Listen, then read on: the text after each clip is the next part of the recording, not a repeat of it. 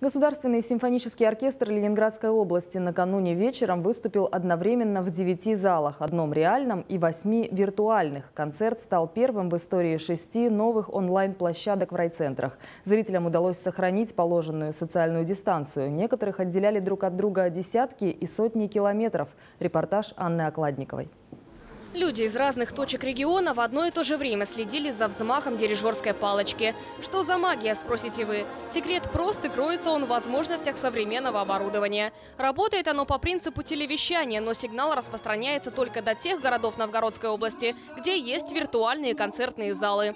До недавних пор их было только три, теперь во столько же раз больше. И все это случилось в этом году благодаря национальному проекту а это значит, что еще больше жителей нашего региона смогут приобщиться к высокому искусству, смогут видеть виртуозные выступления исполнителей и коллективов из лучших концертных залов нашей страны. Трансляция в этот раз шла со сцены Новгородской областной филармонии. Приглашенные гости, симфонический оркестр Ленинградской области Таврический, сыграли для публики лучшие произведения композитора Андрея Петрова.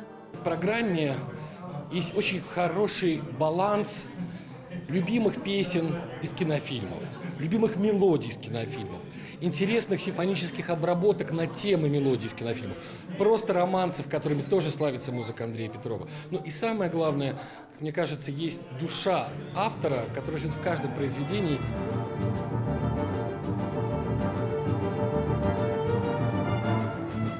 Возможность побывать на таких концертах скоро появится и у жителей Чудова. В 2021 году там будет новый современный зал с большим экраном. Тем самым к виртуальной концертной сети региона подключатся 10 городов области. Анна Окладникова, Андрей Константинов. Новости. Новгородское областное телевидение.